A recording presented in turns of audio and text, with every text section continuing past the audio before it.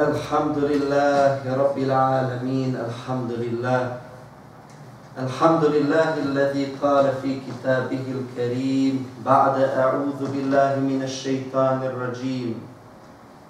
فصل لربك وانحر صدق الله العظيم. أشهد أن لا إله إلا الله وحده لا شريك له وأشهد أن محمدا عبده ورسوله.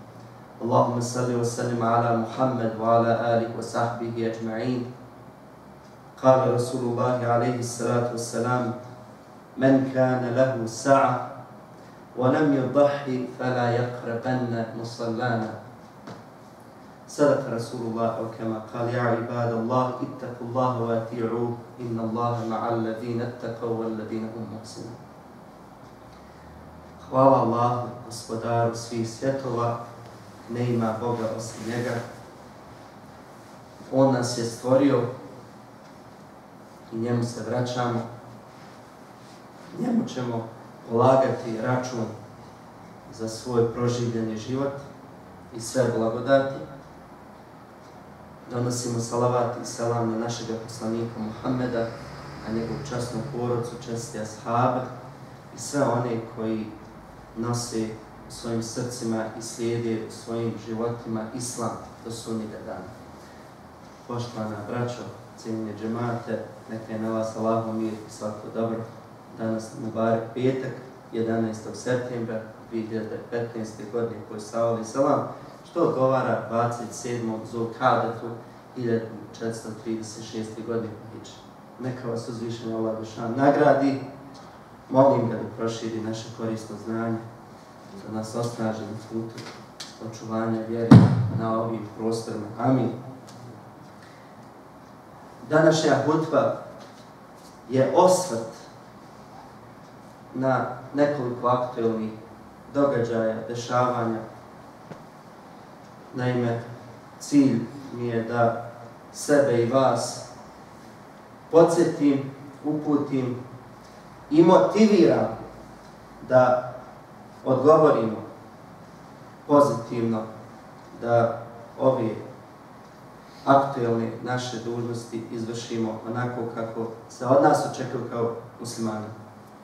Prvo, 11. septembar, pogotovo za nas muslimane ovdje u Sjednjomečkim državama, jeste značajan. Godišnjica je terorističkih napada i kogod ih izvršio, to je veliki grijeh i mi znamo da naša vjera osuđuje teror, posebno teror i zloupotrebu vjeri, ubijanje nevinih ljudi. Allahova odredba je bila kad sam bio u Njujorku u posjeti memorialnom centru. I tu su one fontane gdje su bile nekadašnje te srušene zgrade i uklesana su imena žrtava. I Allahova odredba bila, ja sad vama to govorim, džematu, prvo ime, tako mi Boga koji sam pročito vidio, bilo je Tarik Emanullah. Ime muslimana, naših brata vjeri. Statistike govore da je veliki broj muslimana ubijen. Oni koji su bili u zgradi, oni koji su bili u avionu i oni koji su izgubili svoj život kao jedan student musliman koji radi u vatrogasnoj službi, koji je poginuo spašavajući nevinu. Zašto ja vam ovo govorim? Jednu pouku, braćo, izvucimo. Jer mi moramo o sebi voditi. Juče su bili oni, danas nekakav vajsel. Oni koji, nažalost, upotrebljavaju vjeru, terorišu. Skrivaju se za vjeru. I često puta mi postavljamo pitak šta da činimo. Pa i donosimo se ovdje. Ali zapamtite, Allah Dušanu u Koranu se korupcija, nerijed, terorizam, nasilje, zlo označava izrazom fesad. Ima u našem jeziku fesad, ufsid. I Allah Dušanu kaže u ajetu Ahsin kema ahsan Allahu ilaih. Vala tebdu l-fasad fil ard. Inna Allahe la yuhibbu l-mufsidin. Preveš ovaj ajet s kraja. Kaže Allah Dušanu Allah ne voli one koji ne reči ne. Veliki i mali. Bilo koje vrste. Nemojte, kaže, i interesantno, u drugom licu. Nije sad rečeno, neka oni ne čine nerijed Vada tebi, ti, meni tebi sala obraća, nemoj ti nerijed, nepravdu, zlo, teror činiti. I šta je reakcija? Šta da mi radimo? Va ahsin, praktično. Va ahsin te ahsin Allahu Čini dobro, ihsan. Kao što je kaže tebi Allah, učinio i činite dobro. Dakle, naš primjer, naš, moramo živjeti svoju vjeru, naše ponašanje, naša djela. Mi i naše porodce, to je naš mejdan. Mi moramo slati najbolji primjer i boriti se protiv neistina. I kad su u pitanju mediji, braćo, mediji su vam kao neko ko vam baca kiselinu, otrove, smradove pušta. I mi pijemo, imamo čistu vodu u našim džematima, u našim porodcama, naš lijep islam. Manje gledajmo i slušajmo medije. I kod nas je problem, kaže, je slušao on, pročito negdje. Kaže, je svidio ko je on, on je onaj. Jer on samo prenese što je čuo. I on već taj sud prenosi kao istinu. A ne kaže, oni kažu za ono gdje je to. Je pitanje da li istina to što ljudi govori. A mi ako čitamo Kur'an, ne možeš ti nešto čut, pročitati i reći to je tako. Ti moraš provjeriti.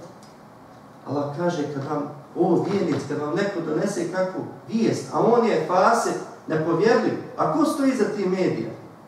Ne znamo te ljude, to nisu ljudi iz naše džemata. Ko zna ko piše i šta plasira? Kaže, provjerite, fete tebetu, fete. Da ne biste, kaže, zon nekom čemu, rekli laž. Pazimo se, što manje gleda televizor, što manje na internetu, što više Korana, što više vremena sa svojom porodcom, što više klanjati, što više učiti, što više konkretnih dijela raditi, pomagati sebi i drugima. To je naša reakcija u vezi dešavanja koje su bile i danas su i dešavanja. Nemojte da se opterećujemo i da gubimo energiju za ono što treba da uradimo. Poštovane braćo, utrak, ako Bog da, informacija 15. septembra, vidite, niko o ovom ne priča. Počinju takozvani dani Zulhidžeta. Evo, Zulkada je na izmaku, Zulhidže nastupa. Tu su, braćo, najbolji dani u godinu. Čak su bolji od Ramazanskih. Ramazanske noći su bolji, zadnjih deset noći dijeli kada. A najbolji dan su prvi deset dana Zulhidžeta. Šta to znači dobar dan, najbolji dan? Pa dijelo koje uradimo dobro se višestruko vredni. Ne daj Bože grijeh ako uradimo, veći nam je, veća grehota i hara. Od utorka, braćo, sljedećeg do je srijede pred Bajram 23. septembra. Prvi deset dana Zlohidžeta. To su najbolji dan. Hajmo se potrud, koje je dobro djelo, učiniti više. Doći malo češće u džami, klanjati malo češće i razna druga djela. U sredi lijepo postiti, 23. poči Bajrama na Arfađu. Lijepo je, lijepo je taj dan ispostiti, brać, dan na refat, o tom ćemo ako Bog da govoriti. Evo lijep haber, jer ispraćamo hađe. Trebamo širiti pozitivne vijesti. A ne, vidi ono, vidi kako su oni, oni vakvi, oni nakvi. A sebe krijemo, svoju odgovornost, svoj nerad. Pogledajte lijepog habera iz džematskog, komšijskog džemata sada. Naš, mog kolege Efendije, znači njegov sin, snaha, mladi idu nađu kao par. Bila je i kardao prošle subote. Wow, kako je to lijep. Mladi korosa, 20. godinama, idu na hač. Čemoludin je došao ne znam, tačno nije ni dvije godine u Koliko je mogo raditi, koliko? Ja mislim da njemu nije babo dao, a nego on zaradio pare i uštedio. I ode. To je primjer. Mi se moramo gledati na takve primjere. A naš isto Allah pitat, jesmo li mi se pripremali?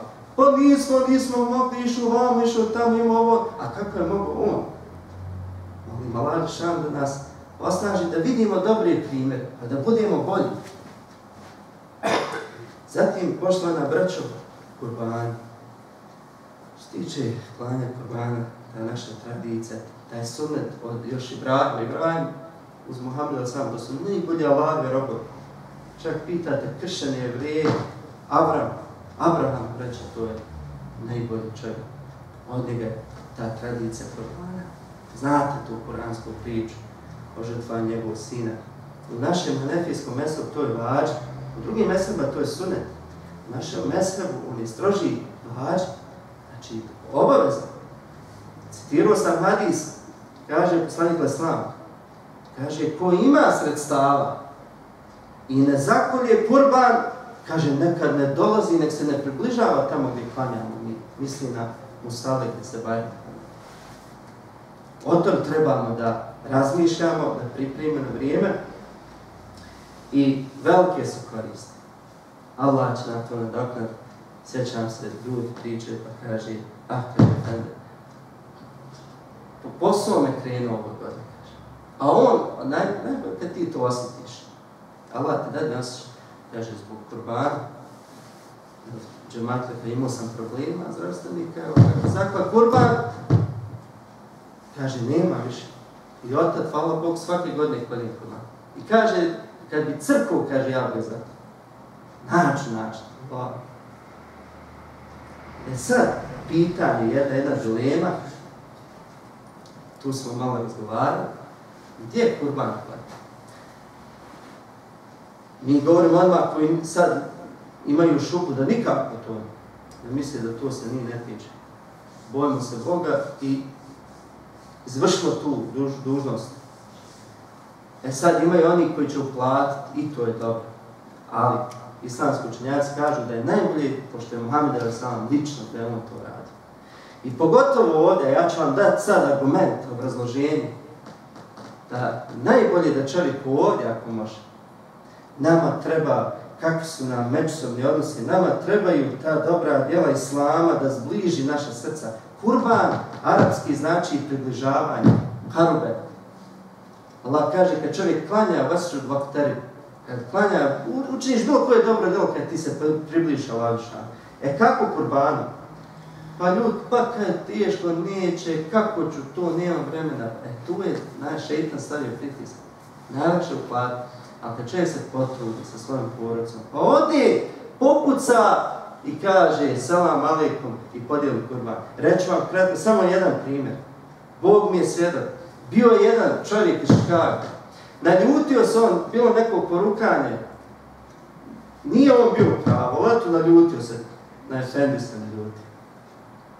I kaže, nemoj više me zvati, tako dalje, hajde.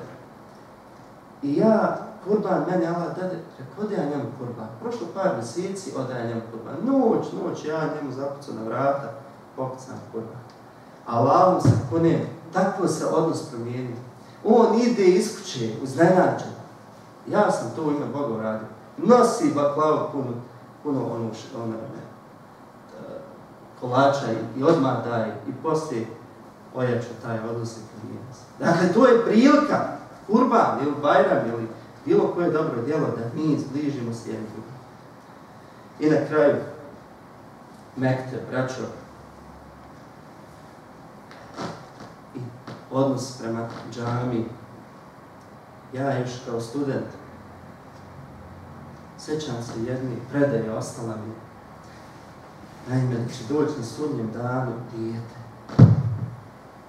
i kazat će svom roditelju, daj mi moj hak.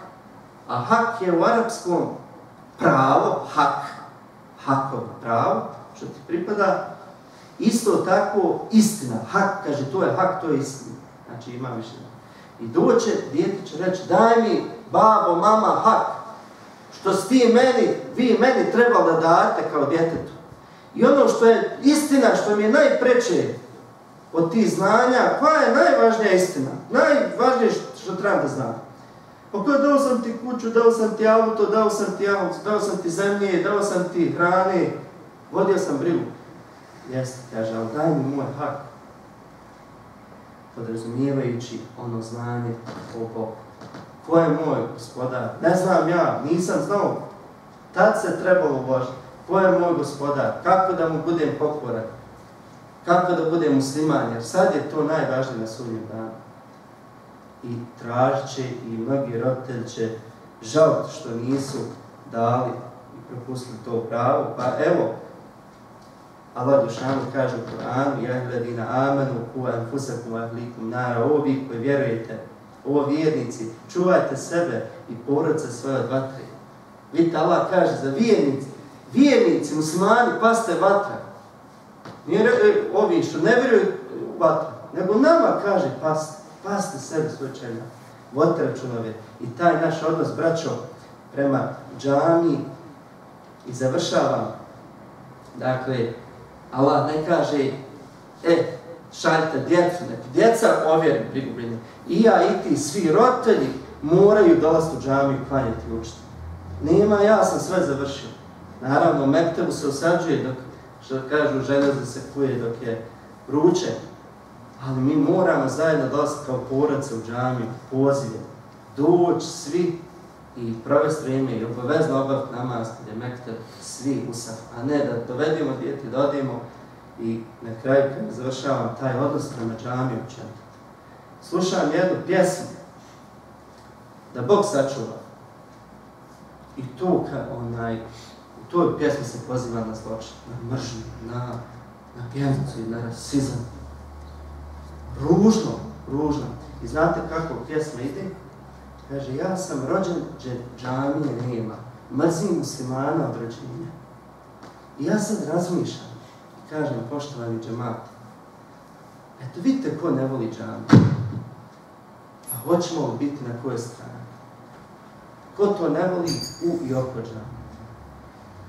Tamo gdje su šetanska posla. Pa čuvajmo našu džamiju, žrtvujemo se na našu džamiju, dolazimo u našu džamiju, dajmo se za našu džamiju, da bi bilo od onih za koje je poslanik Salam rekao da su Allahu najdraža mjesta džamije. Ovo su Allahova najdraža mjesta, blago onima koji u tim džamijama boravi, jer to su mjesta koja Allah voli i te ljude Allah najviše voli. Molim Vladu Šangu da nam pomogne, da naše reakcije budu uvijek da radimo na sebi svojim familijama, da smo blizu džamija, u džamijama, da čuvamo našu vjeru, jačamo našu vjeru i da ako Bog da pripremimo navakat kurbane i dočekamo ove najbolje dane i Bajram ako Bog da radosno, ponosno, vjeri, dobri del. Amin.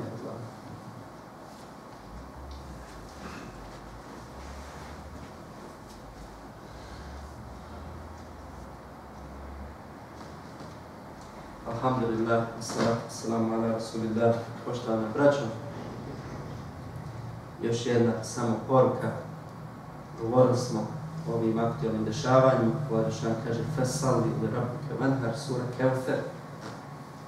Sura Kevser, ona kratka sura, klanjaj i kolji kurban, žrtvuj se, žrtvuj se. Prošli petak kupim dijete i vidim na autu ajet. I znam ja tu suru. Ko što i vi znate suru Kevser? Ali da li znate da drugi ajet, Fasal ili Rabke Venhar, znači kolji kurban i žrtvu se. Klanjaj i kolji kurban žrtvu se.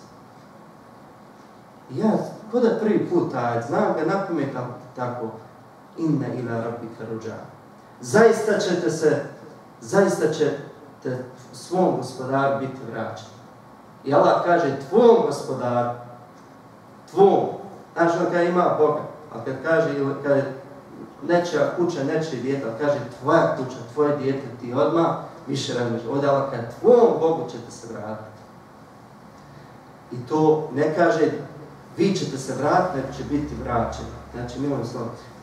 Bio je jedan musliman koji je dolazi našu džamiju, on je prošle subote preselio, sjedio bi tu, slušao bi hutbe, imao je 75 godina, eto, preselio je, bio je na nogama i tako dalje. Pouka svima nama I kad sam bio na dženazi, vidim neku posudu i Bože šta je ovo kad kaže beba. Pa su klanjali su vremenom dvije dženaze. Njemu 85 godina i beba mala u kuti i nešto, nešto razmišljam šta je eđel. Zato mi ne govorimo o smrti da bi predali se, da ne bi se trud za ovaj život, mi učimo dog uvijek rabbena atina fi dunja hasana, fi ahiret hasana, daj nam Bože na ovom i na budućem svijetu, ali uvijek trebamo ovo imati na umu. Bogu ćemo se vratiti i blago ono ko se priprema, pa iskoristimo vrijeme. Nema, ne dajmo da nas šetan i ovaj svijet zavraju, čuvajmo džamiju, pripremimo korbane i činimo dobra djela. Amin. أقول قولي هذا واستغفر الله لي ولكم فاستغفروه إنه هو الغفور الرحيم. إن الله يأمر بالعدل والإحسان وإيتاء ذي القربى وينهى عن الفحشاء والمنكر والبغي يعظكم لعلكم تذكرون أقم الصلاة.